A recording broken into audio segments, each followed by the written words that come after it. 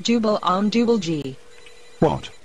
Janice Syed that her and Tony are totally OVE are over. MK. Yeah and then Tony Syed that he has a new GF. Who is she? Lizzie Da. Oh. Yeah and Lizzie Syed that her and Tony are OVE are over. MKK.